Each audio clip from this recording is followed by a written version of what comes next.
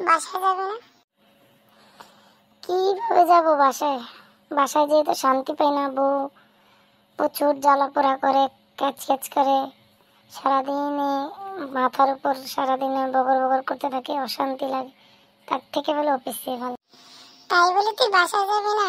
সবার বউ এখন এই অবস্থা। বাসায় চল, বাসায় যাই, বাসার দিকে চল। এর মধ্যে দুইটা বাচ্চা আছে। ওরা তো আরও বেশি মাথার উপর উঠে হাত পা সব কিছু মনে করে আমার অবস্থা গেলে ফেলে একদম। আমি অশান্তিতে থাকি রাত দিন ঘুমাইতে পারি না কিছু না কিছুই ভালো লাগে না রে দোস্ত।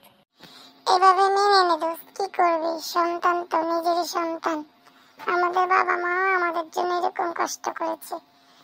তো আমরাও কষ্ট করতে হবে এভাবে দিন কাটাতে হবে দোস্ত। হরে এখন বুঝি বাবা মার অনেক কষ্ট হয়েছে অনেক জ্বালাচ্ছি। অনেক জ্বালাইছে, অনেক পড়েছে মাকে। এখন হাড়া হাড়ে টের পাই। চল, বাসায় যাই।